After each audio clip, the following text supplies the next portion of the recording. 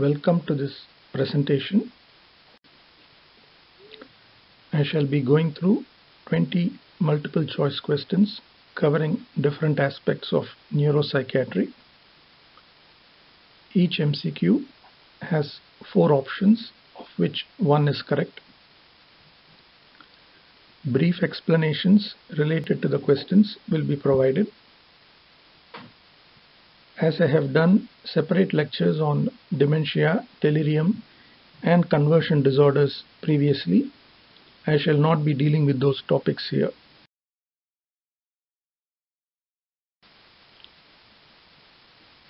Question 1. Which of the following is correct regarding changes in personality after traumatic brain injury? There are four options. Please go through the options and make your choice. And the correct answer is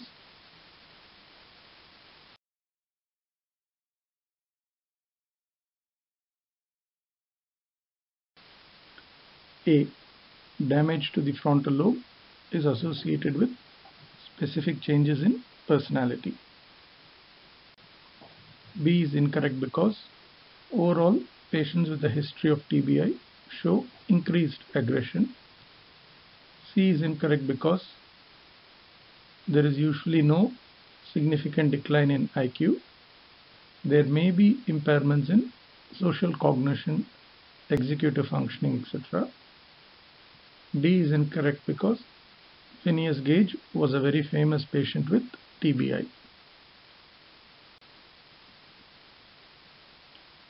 Changes in personality after traumatic brain injury contribute significantly to functional impairment in patients and distress among caregivers. Changes in personality may be subtle or gross.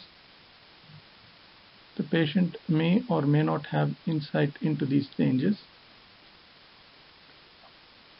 Personality changes are likely to be due to a combination of actual damage to the brain and the psychological consequences of TBI. Among the different brain regions, damage to the frontal lobe is associated with specific changes in personality. Good collateral history about premorbid personality from multiple reliable sources is important before attributing any personality changes to TBI.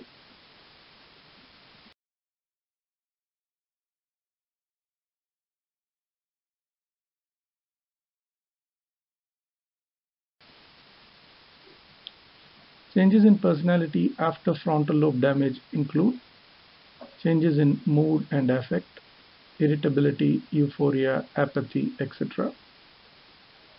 Tactlessness, facetiousness, disinhibition and inflexibility. Problems with impulse control, antisocial behavior and aggression. Inability to plan, prioritize, focus, make decisions or change decisions the so-called executive functions. Based on the predominant features, the personality changes can be classified as either pseudo-depressed or pseudo-psychopathic, with some evidence that the former is due to damage to the lateral frontal lobe and the latter is due to damage to the orbitofrontal cortex.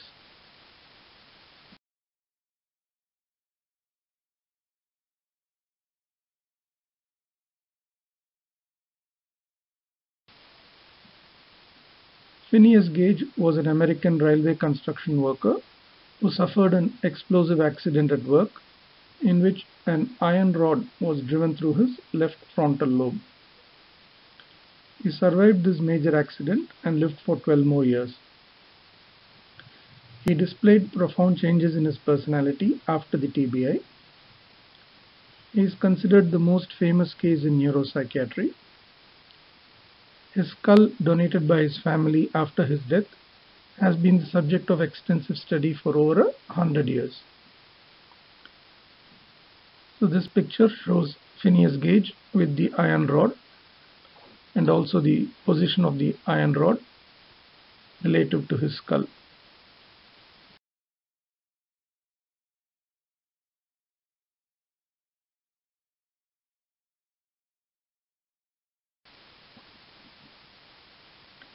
Question 2.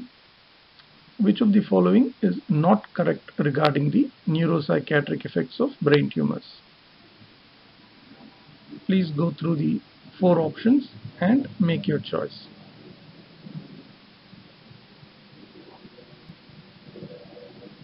And the correct answer is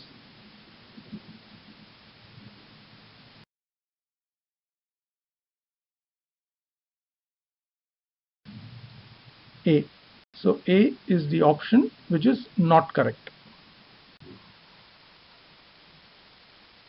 Delusions occurring as a result of brain tumors are usually unsystematized and inconsistent.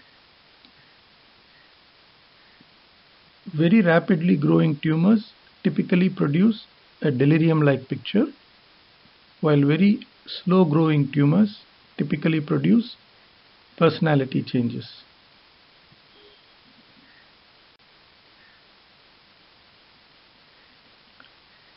Question 3. Which of the following is correct regarding post-stroke emotionalism?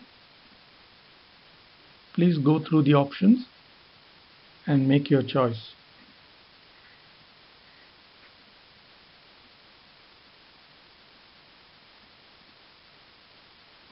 Correct answer is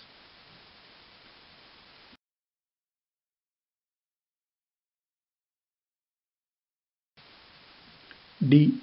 The majority of such episodes have an external trigger.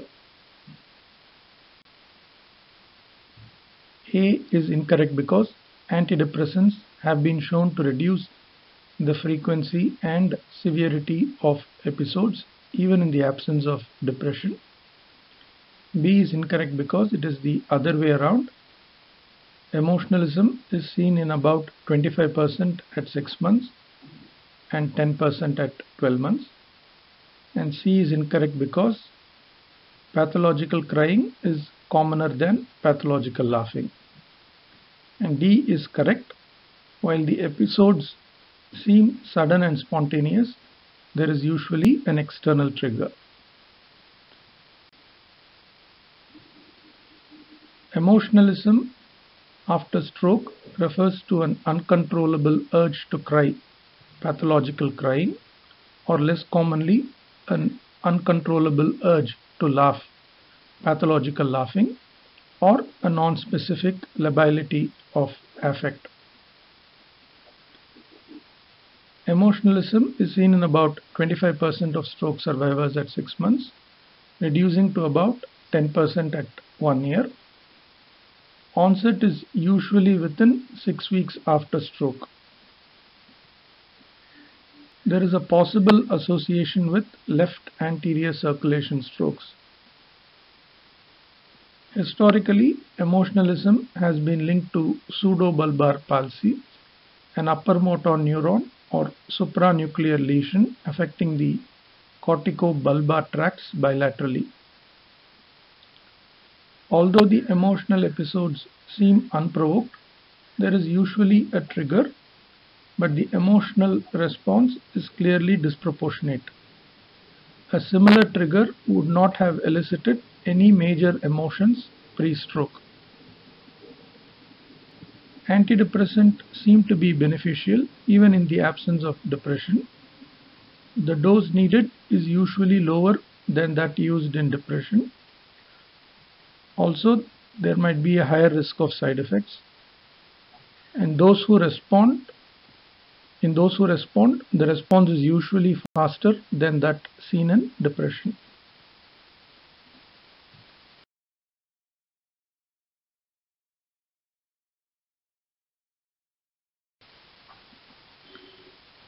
Question 4. Which of the following is correct regarding post-ictal psychosis?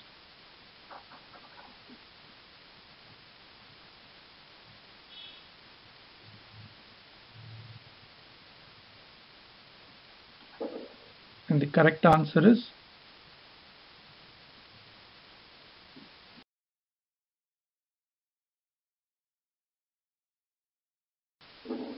C. There is typically a clear interval between the ending of the seizure and the onset of psychotic symptoms.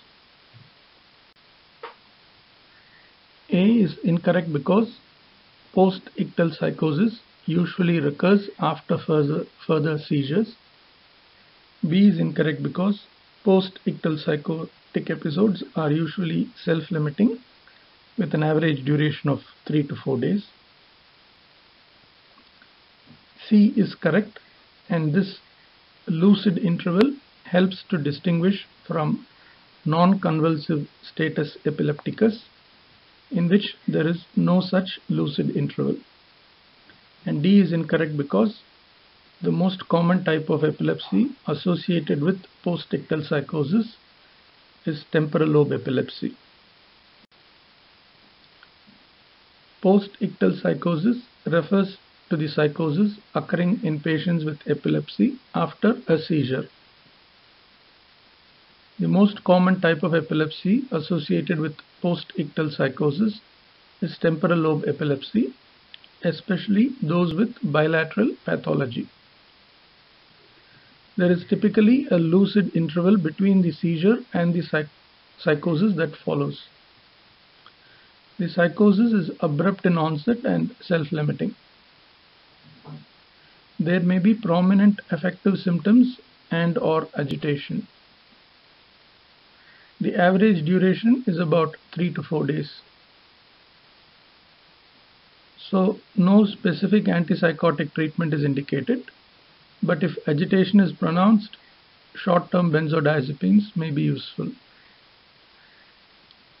There is a high risk of recurrence. A small minority develop interictal psychosis, which might need treatment with antipsychotics.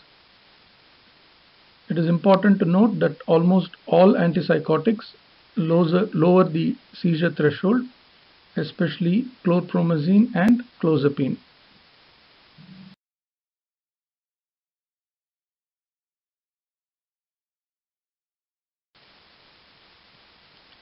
Question 5.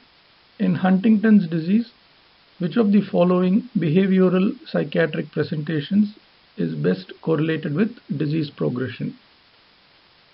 Is it aggression, apathy, depression, or psychosis? The correct answer is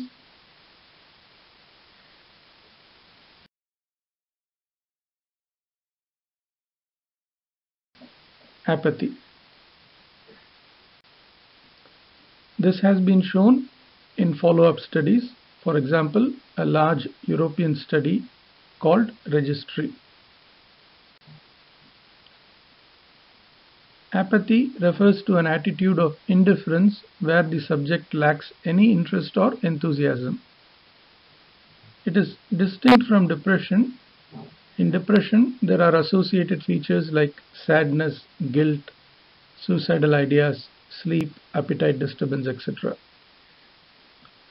Among psychiatric or behavioral symptoms, apathy has been consistently shown to have the highest correlation with progression of Huntington's disease. Over two-thirds of patients with advanced Huntington's disease show apathy. Apathy is also seen in other neurodegenerative disorders like Alzheimer's and Parkinson's. There are specific rating scales for apathy, for example the apathy evaluation scale. Apathy items are also included in general rating scales for Huntington's disease such as the Unified Huntington's Disease Rating Scale.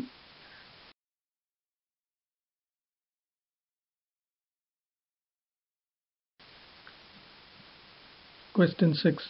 Which of the following is correct regarding normal pressure hydrocephalus?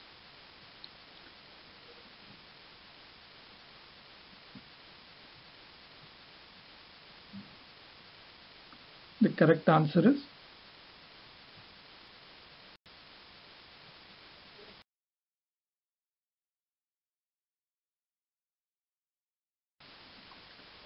C. Insight is usually impaired. Option A is incorrect because the classical triad consists of ataxia, cognitive impairment and urinary incontinence. B is incorrect because there is usually psychomotor retardation and D is incorrect because memory impairment is usually an early feature. It is urinary incontinence which is usually a later feature.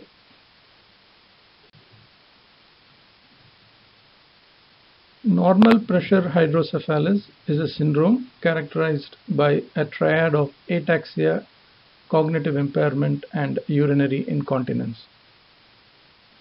It can be primary or idiopathic or it can be secondary to head injury, subarachnoid hemorrhage, meningitis, post-neurosurgery, etc. In normal pressure hydrocephalus, there is impaired absorption of CSF, but the CSF pressure is normal or may even be low. As normal pressure hydrocephalus persists, periventricular white matter ischemia develops. Neuroimaging reveals very dilated ventricles as shown in this scan Treatment is usually by ventriculoperitoneal shunting.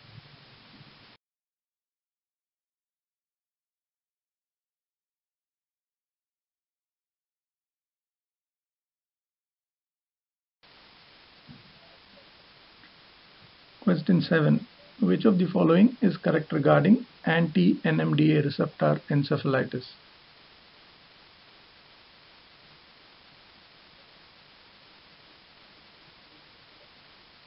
Correct answer is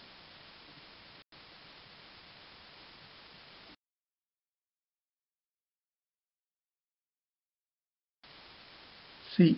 The antibodies are directed against the GLU-N1 subunit of the NMDA receptor. A is incorrect because the typical patient is a young female. B is incorrect because psychiatric symptoms are seen in a large majority of patients. And D is incorrect because about 25% about 75% show good to excellent recovery. So the prognosis is good. So anti-NMDA receptor encephalitis is an autoimmune paraneoplastic disorder that is being increasingly recognized, especially in first admission psychiatric patients. The typical patient is a young female with an ovarian teratoma, but it can occur in both sexes in all ages and with other tumors. There is usually a prodrome of flu-like or gastrointestinal symptoms. Then usually within two weeks psychiatric symptoms emerge which may mimic anything from depression, mania and psychosis to catatonia, neuroleptic malignant syndrome and dementia. As a result, over three quarters of patients are managed by a psychiatrist initially. Neurological or physical symptoms include movement disorders, seizures, clouding of consciousness, autonomic instability, etc. Diagnosis is by identifying antibodies to the GLU-N1 subunit of the NMDA receptor in the serum or cerebrospinal fluid. Definitive treatment options include tumor resection if present, steroids, immunoglobulins, plasma exchange, cyclophosphamide, rituximab, etc a good to excellent outcome is possible in about 75% if treated appropriately.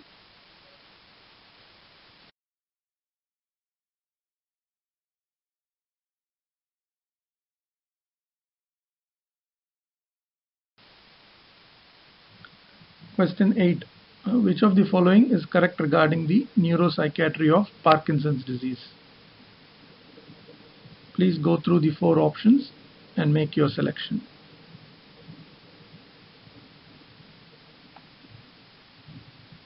And the correct answer is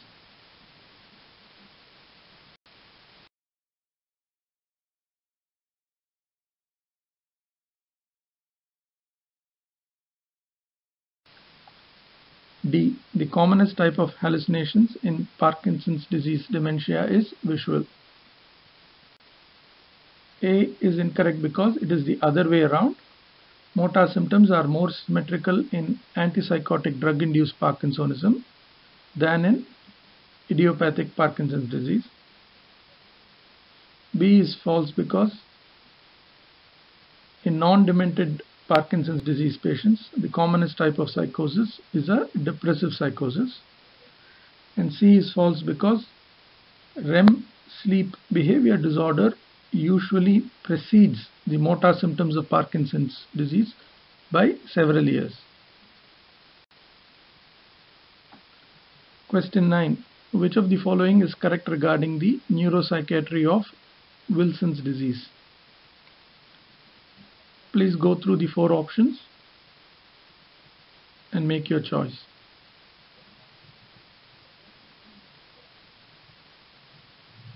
correct answer is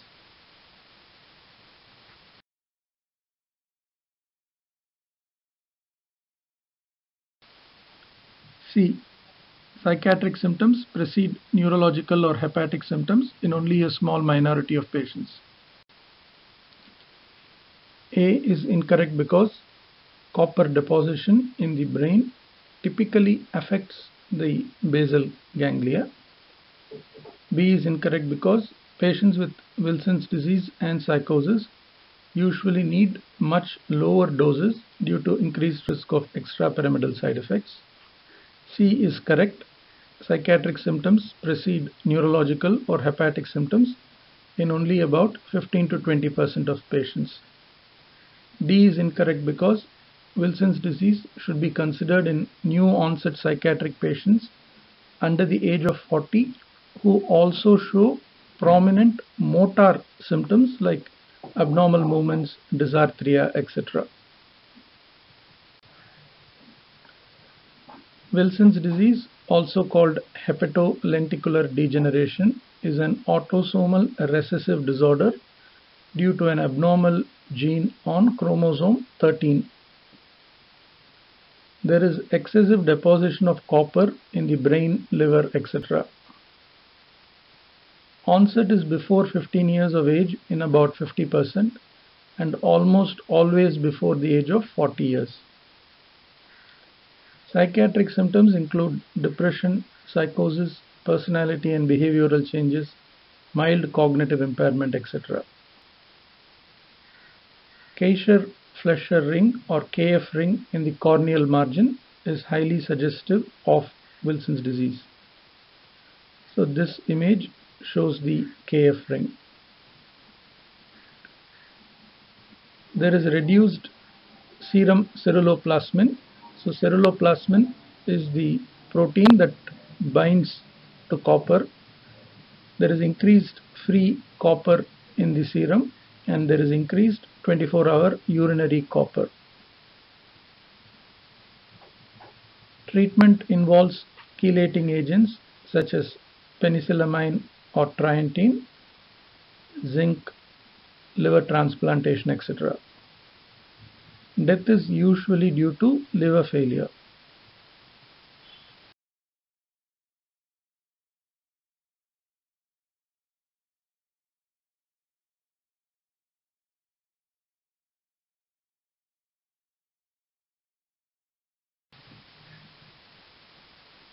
Question 10. Which of the following is correct regarding antipsychotic induced dystonia? Please go through the four options and make your selection.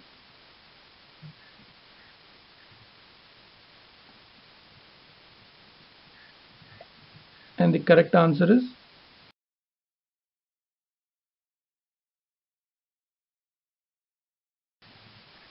C. Tardive dystonia is associated with greater subjective distress than tardive dyskinesia. Option A is incorrect because acute dystonia is commonest in young males. B is incorrect because anticholinergics like procyclidine or benztropine are highly effective in acute dystonia. D is incorrect because tetrabenazine is indicated in tardive dystonia and it is also used in tardive dyskinesia, chorea, etc.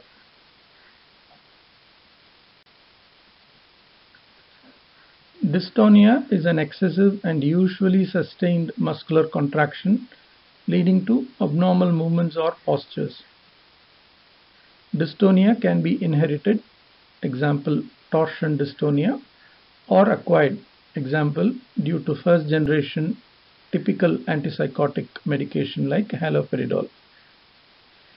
Antipsychotic induced dystonia can be acute occurring after even the first dose or chronic or tardive developing after several years of treatment. Dystonic presentations include torticollis, which is a cervical dystonia, blepharospasm, oculogyric crisis, trismus, which is a oromandibular dystonia, etc. Acute dystonia responds well to anticholinergics, for example, intramuscular procyclidine. Tardive dystonia may respond to dopamine depleting agents like reserpine or tetrabenazine. Other options include benzodiazepines, baclofen, etc.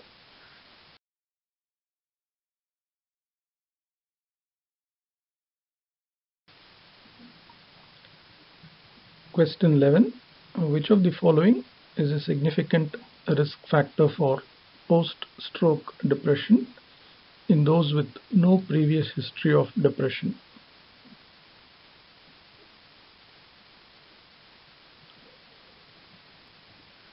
The correct answer is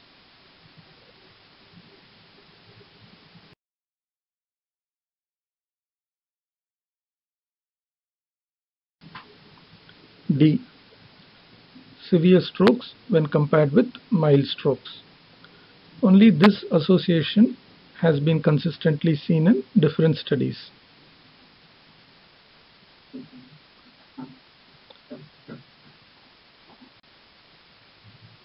Question 12. Which of the following is correct regarding post-traumatic amnesia or PTA?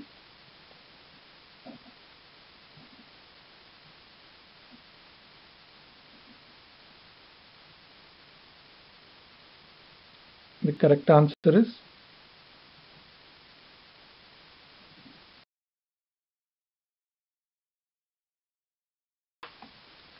C.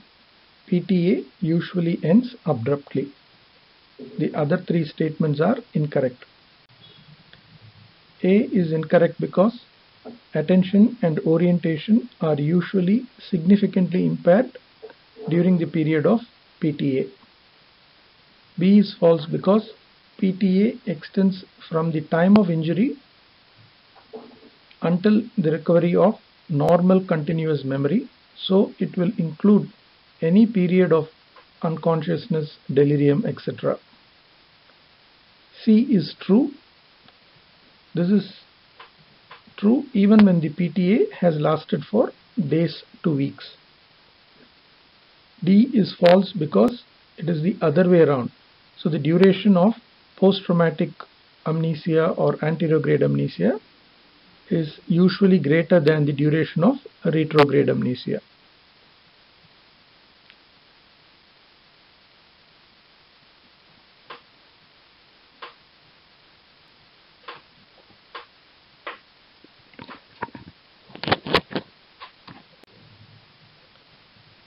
Question 13. Which of the following is correct regarding systemic lupus erythematosus or SLE.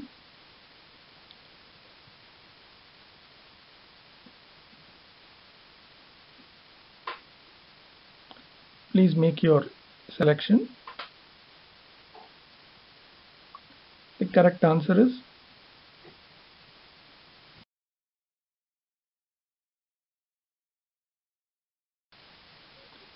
D. During the long-term course of SLE, depression is more common than seizures.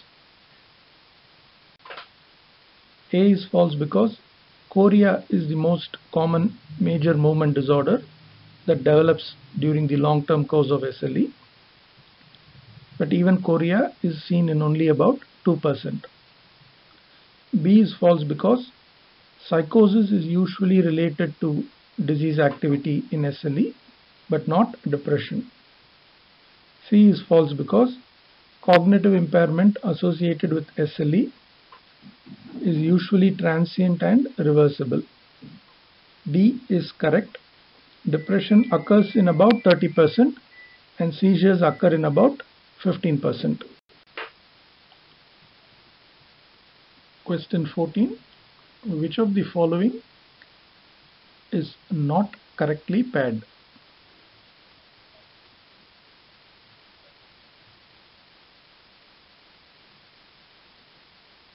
Please make your selection. The, the answer is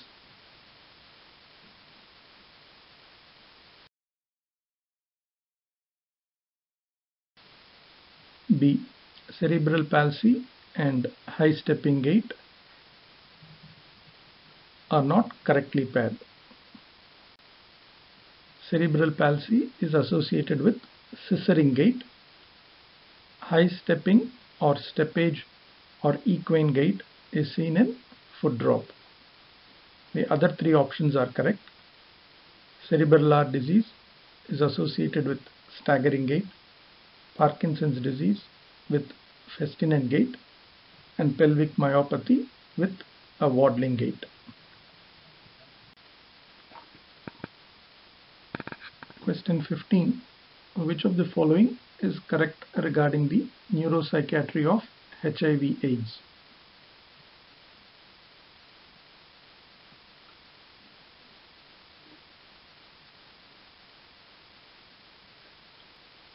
The correct answer is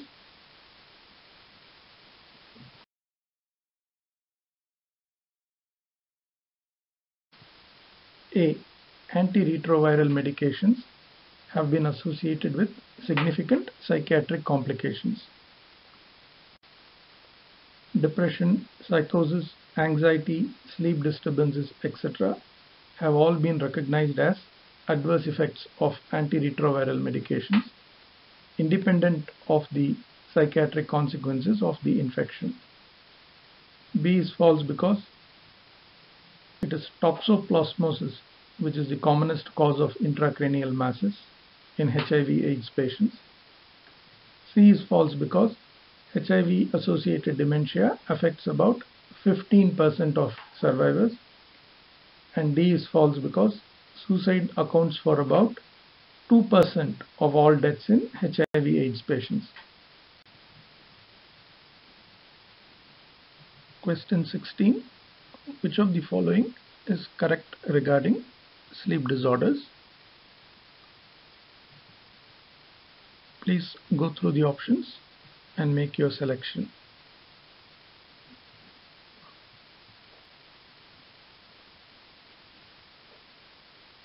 And the correct answer is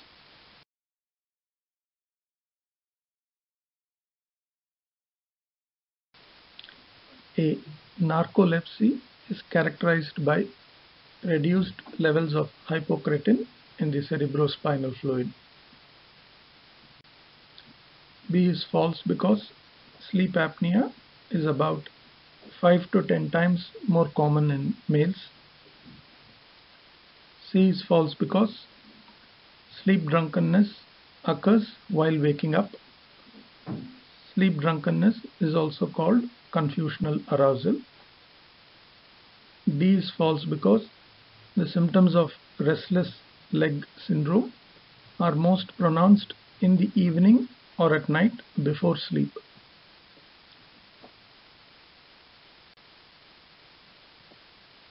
Question 17. Which of the following is correct regarding the default mode network or DMN? Please go through the options and make your selection.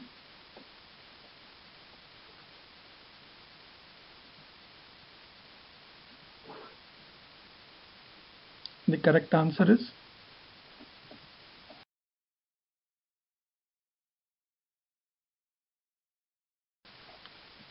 A. Compared to controls, subjects with schizophrenia appear to show abnormal activity in the DMN. B is false because the DMN is located bilaterally and symmetrically. C is false because the DMN and the salience network are related but not identical concepts. D is false because DMN is usually mapped with the subject at rest.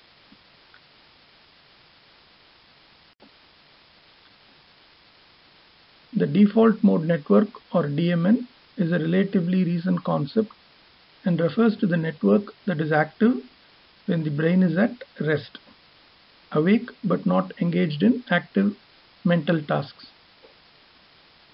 The DMN accounts for at least 60% of brain energy consumption at rest, but only about 1% when the brain is active.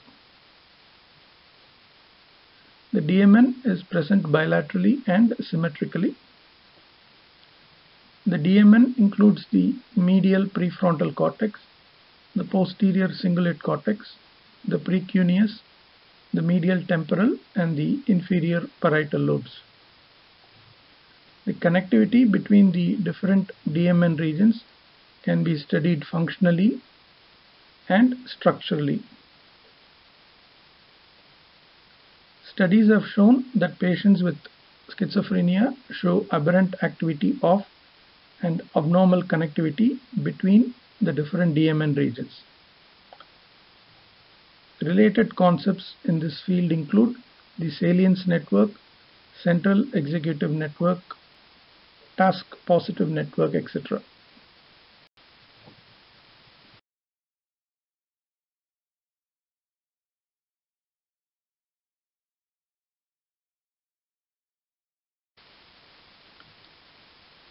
Question 18. Which of the following is not correct regarding the microbiota residing in the gut? Microbiota refers to bacteria and other microorganisms.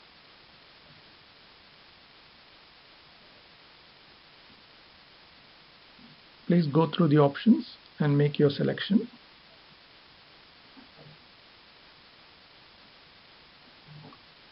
And the answer is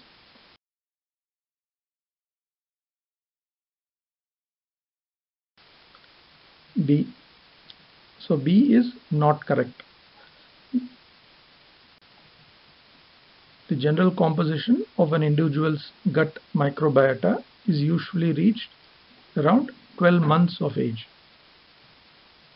The other three statements are correct. The bacteria and other microorganisms present in the GI tract are called the microbiota and their collective genome is called the microbiome. There is a bidirectional communication between the GI tract and the brain mediated by these microbiota and this might involve neural, immunological, endocrinal and metabolic pathways. An individual's general microbiota diversity is usually well established by 12 months of age and it is influenced by genetics, type of delivery, whether vaginal or cesarean, etc. Subsequently, factors like diet and antibiotics play an important role in regulating the microbiota. Abnormalities in the diversity of the microbiota have been postulated to play a role in neuropsychiatric disorders such as autism, schizophrenia, depression, anorexia nervosa, dementia, as well as gastrointestinal disorders like irritable bowel syndrome, inflammatory bowel disease, etc. In animal studies, gnotobiotic or germ-free mice are used. Now there is also growing in interest in the skin microbiome and its various effects.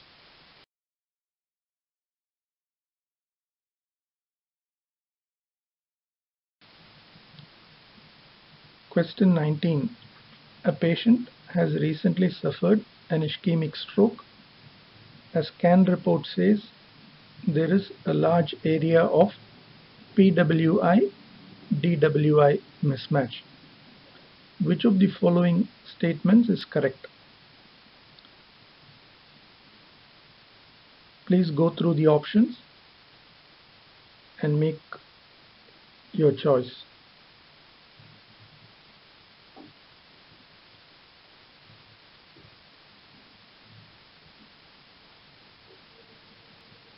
And the correct answer is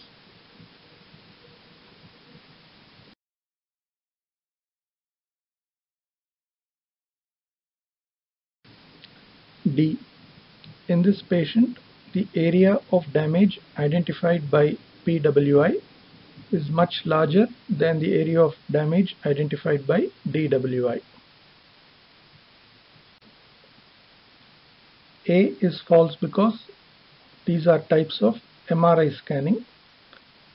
B is false because the area of mismatch is called the penumbra. C is false because the larger the area of mismatch, the greater the likelihood of benefit from thrombolysis. PWI is perfusion weighted imaging while DWI is diffusion weighted imaging. There are types of MRI scans. The concept of PWI DWI mismatch is useful in acute ischemic strokes to determine the area of brain tissue that can be potentially salvaged by thrombolysis. The area of brain tissue that is irreversibly damaged is called the core. The area surrounding the core that is not yet irreversibly damaged is called the penumbra. DWI will identify the core while PWI will also establish the penumbra. The larger the mismatch, the more benefit one can expect from prompt thrombolysis. So in this image, the DWI on the left shows the core, the PWI shows both the core and the penumbra and the PWI DWI mismatch corresponds broadly to the penumbra.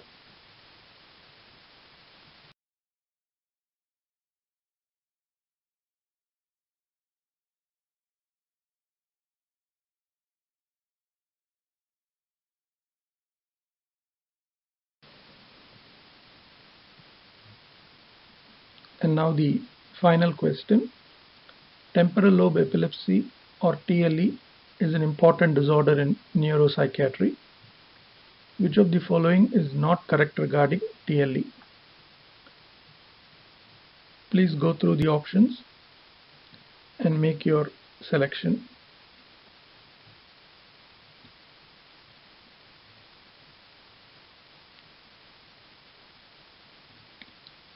And the answer is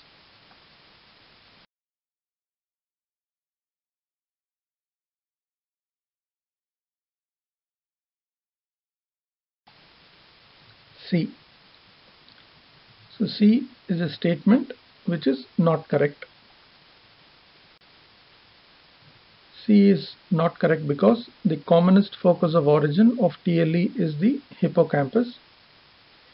A is true. TLE is the most common type of focal epilepsy followed by frontal lobe epilepsy. Focal is the new term used by the International League Against Epilepsy since 2017, replacing the old term partial. Similarly, focal aware and focal impaired awareness are the new terms for simple partial and complex partial respectively. D is true and MTLE is usually due to hippocampal sclerosis. And that brings us to the end of this presentation. Hope you found the information useful. Thank you for watching.